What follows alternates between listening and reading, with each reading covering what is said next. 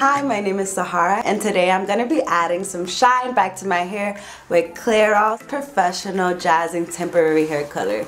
If you have curly hair like mine, Clairol gives you the freedom to switch it up whenever you want without damaging your curls. And not only does it add a pop of color, but it makes your hair shiny and soft. The best part about it is the ammonia free and peroxide free formula. Today I'm gonna be using Bluest Black on my hair. So let's get started.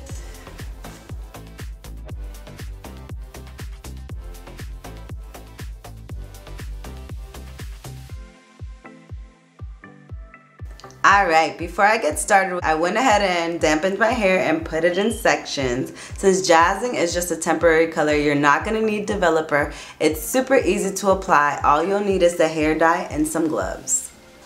Alright, for application, I will be applying directly to my hair and using my hands to spread it out. You can also use a bowl and a brush if that's what you prefer.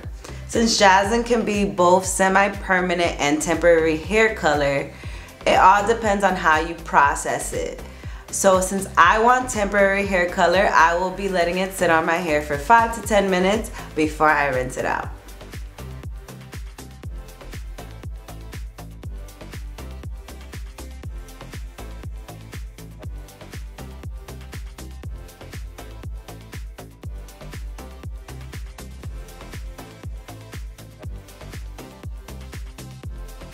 Alright, so it's been a few minutes, so this is how the color is looking so far after I took the clips down.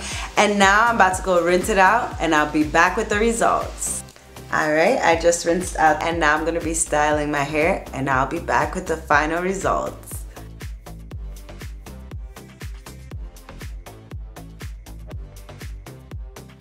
As you can see, my color came out amazing. My hair looks super shiny. It feels really healthy and moisturized.